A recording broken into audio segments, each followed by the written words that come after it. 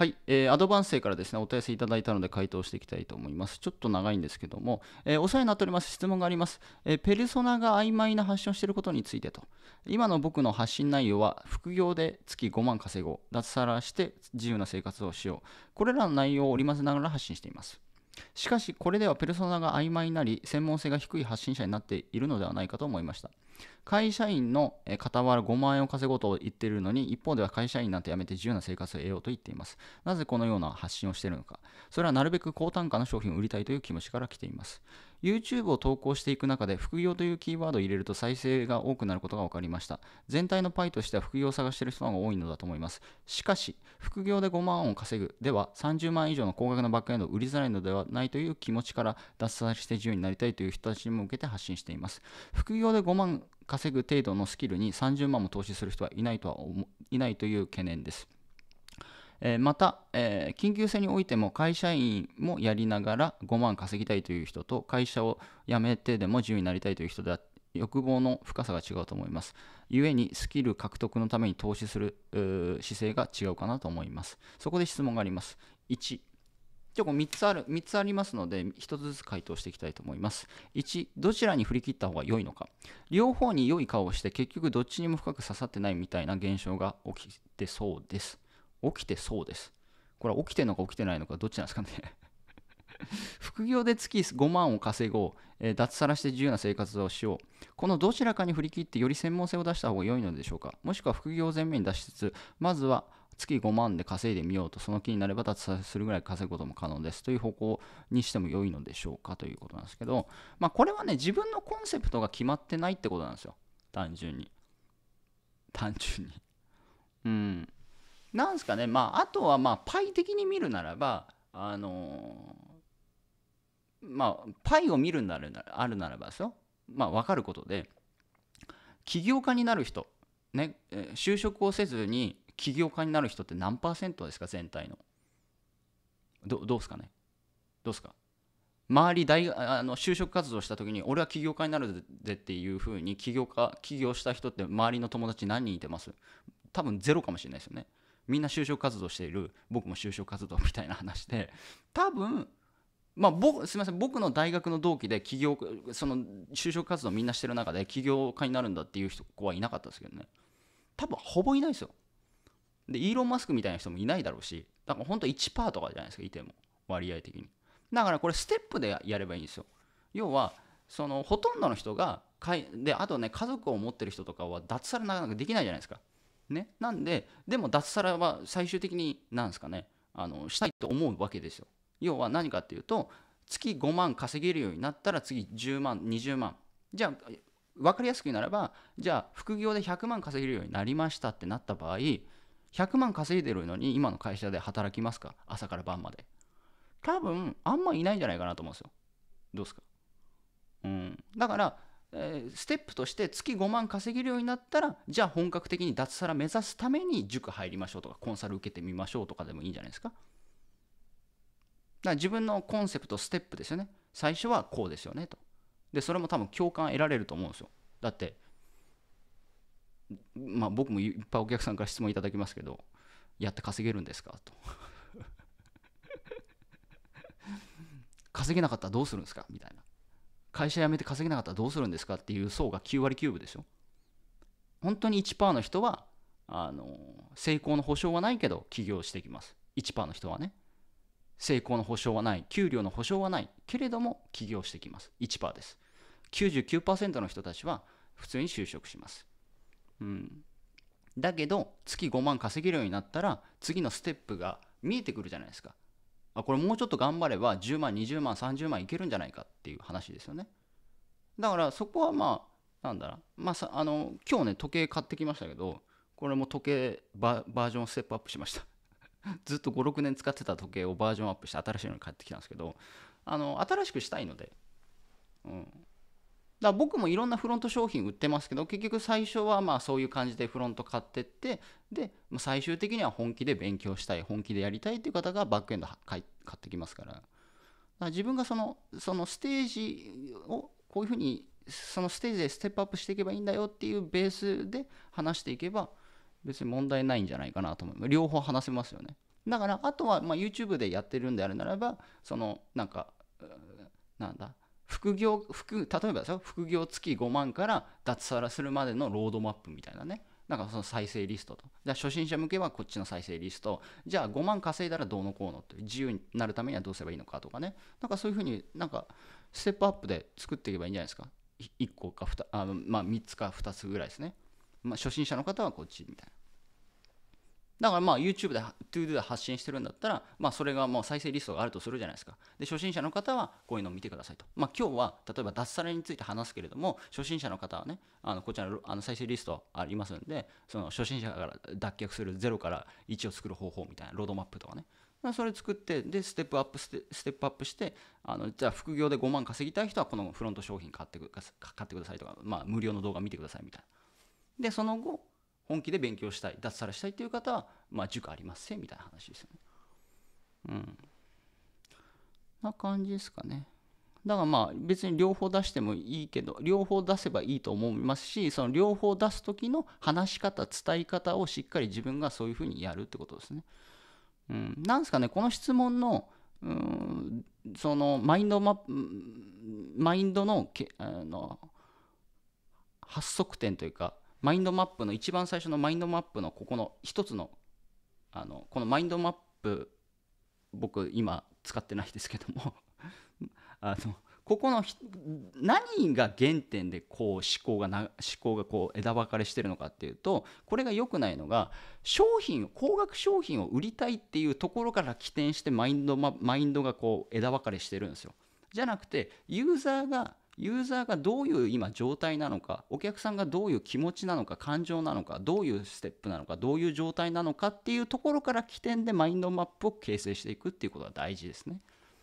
これはもう自分の高額商品売りたいからっていうところから枝分かれしてるんでこういう質問が来ると思うんですよ。それはお客さんの状況を考えれば分かると思うんですよね。うん、だからその起点の考えるところを高額商品はもちろん売りますよ。バックエンドは売らないといけないんですけども結局買うのはお客さんなんでそのお客さんがどういう状態なのかを起点に骨組みをあのコンセプトを作っていくっていうことが大事ですね。はい、2番ですね。副業で5万稼ぐでは、やはり30万以上のバックエンドは作りい作りづらいでしょうか。先月4万の初のコンサルを売った時に報告させていただきましたが、それは月に5万を約束するといったオファーでした。月5万稼ぐために30万のコンサルを受ける人はやはりいないのでしょうか。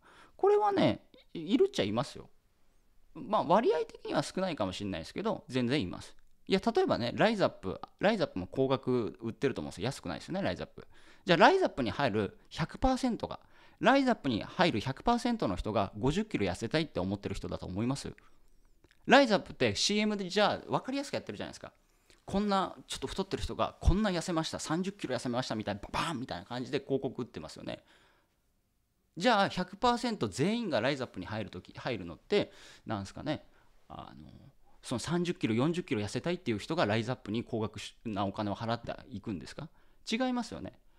一部の人たちは例えば健康維持でライズアップに何十万も払う人もいるんですよ。年取って。まあ今はライズアップそのペルソナで分けたりとかいろんな商品売ってると思うんですけど痩せたいとかじゃなくて健康維持で高額買ったりとかね。高額のライズアップ トレあのトレーナーにお願いしたりとか、うん、だからそのなんだあの、一部はそういう層がいるので。だから売れないってことはないですね。うん。この30万のコンサルを受ける人はやはりいないのでしょうか。います。いるけれどもちょっとパイは少ないかなと。やっぱまあライズアップもあの CM 出してるのでああいう見せ方をしてるんでやっぱもうめっちゃ痩せたいっていう人はそうは多いでしょうね。うん、だけど全員ではないって話ですね。うん、そう。だからそれはもうお客さんの状態によってまあその売り方伝え方を変えれば別にあの売れますよ。5万でも、うん、例えばねお客さんとこうまあ例えばあの無料面談であのバックエンド売ってくるとするじゃないですか。ね、無料面談で無料コンサルでそのヒアリングをしてバックエンド30万のバックエンドを売っていくっていうあのちょっと状況で設定でいいですか？でその時にヒアリングしてお客さんがね例えば今までいろんな商品買ってきたりとかいろんな塾に入ってきたりとかしたんだけどもそのお客さんはあの全然うまくいかないと。ね、100万目指してたんだけど月5万すら稼げてないと。いう状態だったっていうことがそのヒアリングした中で分かったとするじゃないですか。ね？要は100万目指してたんだけども全然稼げない5万すら稼げてないっていう状況ですね。わかります？そのヒアリングして。じゃあその状況下でじゃああの僕のコンサル僕の塾かコンサルか分かんないですけど入ってもらってまずはステップで月5万目指しましょうと。でその後じゃあ100万目指すために次のステップも用意してますみたいなあの案内の仕方をすればいいんじゃさっきとちょっとつながる部分ありますけどもうんだからその今までいっぱいお金払ってきてるのにいや5万も稼げてないんだったらまずは5万稼ぎましょうと。で5万稼ぐためにちゃんと環境を整えましょうと。まあ、そのその商品がコンサルであるならば僕のコンサル入っていただいてあのなんだこう一緒にやっていきましょうと。ね、環境今まではノウハウにお金使ってたけどもうノウハウにノウハウにおか、まあ、もちろん僕もね教えることはできるんだけども一番 X さんにね足りてないのは環境ですよと。やれる環境ですよと。やる環境ですよと。みたいな感じですね。でもしそのやる環境に投資をしないんであるならばこれからもいろんなノウハウを買ってつまんでは買ってはつまんでは結局うまくいかないですよと。だ今までうまくいかないことを続けるんですかと。ね、今までうまくいかなかったことをまだ続けるんですかと。もしくはその、もしか、もしか分かんないけど、100個買ったら1個ぐらい合う、あえ X さんにね、合うノウハウがあるかもしれないけど、結局100個も買ったら高えよと。30万安いよと。こっちのから、みたいな。なんかまあそんな感じでまあ案内していくと、まあ売れますよね。うん。まあ、直近でね、あのちょっと僕今コンサルしてるんですけども、直近でメールいただいて、あのこんなメッセージをいただいてるんですけども、今日今日コンサルしたあのコンサル生からメッセージいただきまして、吉谷様とお疲れ様です。お世話になります。今日はコンサルありがとうございました。毎度新しい気づきをいただいております。金がないからと自分でやるよりもコンサルを受けた方が結果としてコスパが良いことコスパが良いことがよく分かりました。吉谷さん吉谷さんは自分にとって羅針盤ですと。はい、でこのこのコンサル生は今まであのできなかったんですよ。1人で。で今僕のコンサル受けてもう毎日 YouTube で発信できてるんですよ。でそのは YouTube の発信のネタだったりとかタイあのタイトルとかコンセプトとかも全部毎週1回やってるんですけどもう毎日今できてるんですね。でも1人じゃできなかったんですよ。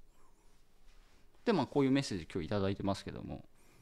うん。だからそこのなんすかねお客さんがうまくいってない問題ヒアリングして問題点をあの提案してあげる。問題点を解決する施策を提案してあげるってことですねそうすれば別に売れます、はい、で次かえー、っと次3番ですかねえ段階を踏んでいくべきでしょうか正直、えー、身分相応に高望みをしている感もありますドリアカの教えであるまずは小さい実績を作ろう僕は note note 販売で最高12万円今現在2ヶ月連続で8万超えともうこれもすごいですね。2ヶ月連続8万超え。月に5万ぐらいであれば人に自信を持って教えることができます。なので小さい実績はクリアしていると思います。しかし最速で100万を達成したいあまりに高単価が売れやすいコンテンツビジネスで脱サラという層に手を出している感じがします。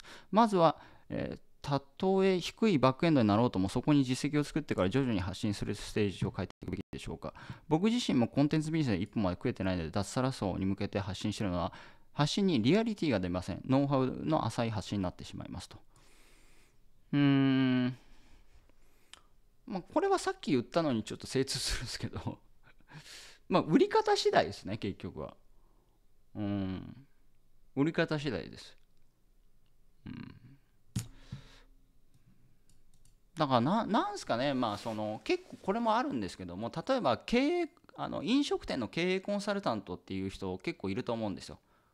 ね、じゃあ世の中に飲食店の経営コンサルタントがいます。じゃあその世の中の経営コンあの飲食店の経営コンサルタントしてる人は今自身で10社20社の経営をしてるのか飲食店の経営をしてるのかしてないですよほとんど。いやコンサルタントとして飯食ってるので。だから結局僕の結論はその教えた人が結果出ればいいんですよ。ちょっとね今年青山学院はちょっと優勝しなかったのかな。青学ですね。あの箱根駅伝ですよ。で箱根駅伝のまあこれまあちょっと今すみません監督変わってるかも分かんないですけどももともとサラリーマンだったんですよね。青学のその 4, 4連覇か3連覇まあ本も出てますけどもサラリーマンなんですよ。別にそのオリンピック選手じゃないんですね。サラリーマンでしたと。でサラリーマンの僕がなんで青学を4連覇3連覇させたのかみたいな本も出てるんですけどだから結果が出ればいいんですよ教えてる人がね僕からすると。自分の結局自分が結果お客さんが求めてるのってねお客さんが求めてるものって吉谷さんが稼いでくれればいいんですっていう人いないですよ。どうすか？あ吉谷さんめめっちゃ稼いでるんですね。嬉しいですって。誰もいないと思います。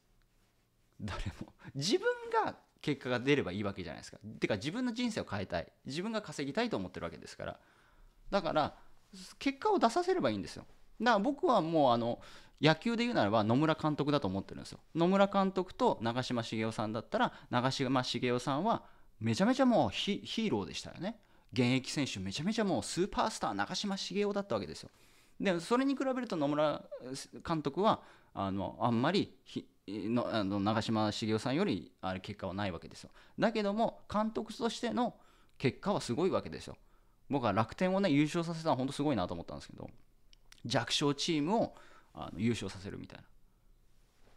だから教えるっていうのはそのそれで僕はいいと思ってるんですね。ただ自分に実績があると強く言えるっていうただそれだけなんですよ。単純に。これはもう自分の中のマインドセットです。マインドセットというかマインドブロックというか単純に自分が月100万稼いでたら教えやすいし伝えやすいし自信を持って言えるっていうただそれだけの話で、うん、だからまあ僕が推奨するのはちゃんと教えて実績者を出すってことですね。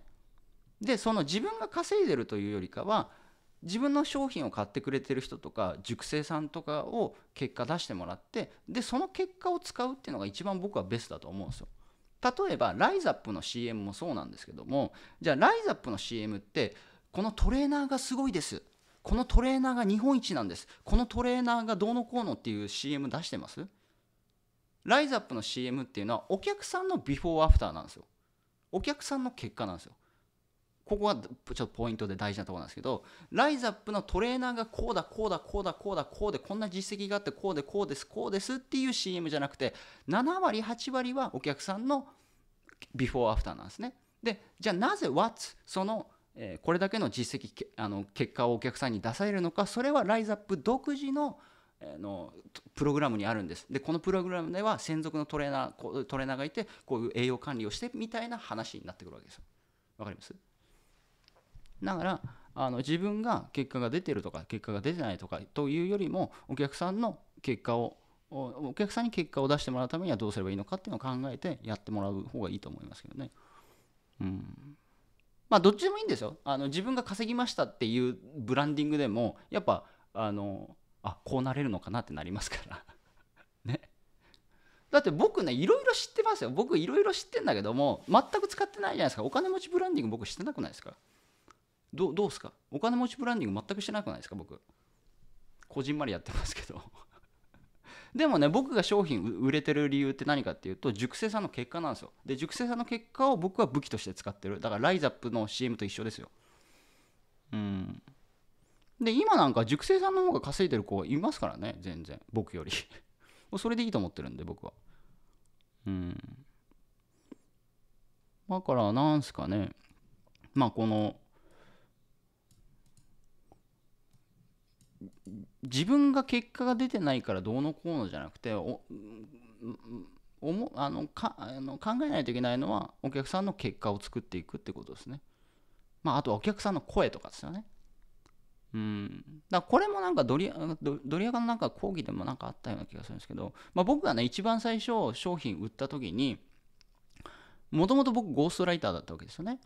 でその自分で商品売るって自信ないわけですよ。でそもそも自分の商品の価値も分かんないし、まあ、初心者と同じ状態ですよ。これ売っても大丈夫なのかな？高く売ってもいいのかな？みたいな話なわけですよ。だから分かんなかったから最初はとアンケートを取ったんですよ。モニターなんかセミナーやってセミナー映像をこう売るんだけどもモニター販売してでモニターで安く売ったんですよね。3000円とか2000円で売って。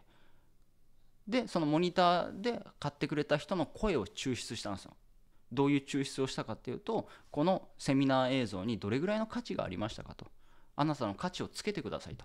まあ、モニターで募集してますから、まあ、もちろんモニターで募集して買ってるけど書かない人もいますよ。ただ8割ぐらいは書いてくれました。で実際に、まあ、そのお客さんのフィードバックですよね。この映像の価値は100万円の価値がありましたとかね。30万円の価値がありましたとか、まあ、結構来たんですよ。でもちろん中にはね1000円の価値しかありませんっていう人も中にはいましたよ。でもそのそれを見てじゃあ高く売れるなっていうところでそのお客さんからもらったそのこの映像にはどれぐらいの価値があるのかどういう声なのかっていうのを全部モニターで、えー、その書いてもらったやつをセールスレターに使ってそれで高単価で売るっていう話ですよね。うん、なんかその自分がどうのこうのじゃなくてお客さんがどう思うのかっていうところとかお客さんの結果だったりとかそこにフォーカスするといいと思いますね。だから結局これ一番最初も言った通りそのマインドマップの形成が結局その自分が売りたいみたいな話なんですよ。まあ売りたいのはいいんですよ。全然売らないといけないから。だけどそのけビジネスを形成する上での大事なところっていうのはお客さんのかん今のここなんですよね。で結果をどう出すかとかね。そこなんですよ。だそこから考えていただくっていうのが大事ですね。うん、本当にこれはね自分が稼いでいると、うん、自信を持って話せるか話せないかっていう話しやすいか話しづらいかっていうただそれだけですね。うん、仮に例えばあの A っていう商品を売るじゃないですか。A っていう商品をね。で自分にそんなに実績がないと。でも A の商品をさっきみたいに僕みたいなやり方で A の商品を売りました。じゃあそこに対してお客さんの声がいい声がいっぱいつきましたと。レビューがいっぱいつきましたと。じゃあそこに自信持てるじゃないですか。あこれ売ってもいいんだって話ですよね。どうですか？うん、だからその自分が稼いだから自信を持って売るんじゃなくてそのお客さんに価値を確認してもらってそこに自信を持つっていうのが一番僕はいいと思いますけどね。うん、だって極論言う極論ですよさっき長嶋茂雄さんと野村監督の話をしましたけどもじゃあ長嶋茂雄さんはスーパースターです。めちゃめちゃすごいです。でねじゃあ長嶋茂雄さんのところで野球を教わりました。だけど誰も実績が出ません。でもスーパースターなんですよ。でも実績出ないんですよ。どどうすか？多分売れないですよね。商品は。まあその野球スクールね。この野球スクールに入ると長嶋茂雄さんから教われるっていうね、まあ、看板そのブランディングとか看板はめちゃくちゃいいですよね。で最初はいいんだけど結局みんなそこに入っても全然勝てない。うまくならないってなれば多分まあずっとビジネスはできないですよ多分。うん。そう名前だけ一人歩きするって感じですよね。うん。だそこにちょっとフォーカスしてやってほしいなと思いますね。中長期ビジネスやっていくんだったら何が大事なのかって話ですね。で、誰がお金払ってるのかって話ですよ。うん。だそこはまあ、そこを起点にして考えていただくと本当にあのいいと思いますね。うん。だから自分がどうのこうのっていう感じで考えてるんで、基本、これ全体的にね。うん。もう本当に考えないといけないのはお客さんが何に悩んでるのかどういうフラストレーションあるのか何につまずいてるのかっていうところからマインドマップを形成してください。うんだ大丈夫ですかね、はい。ということでいただいた質問に対して回答させていただきました。ありがとうございます。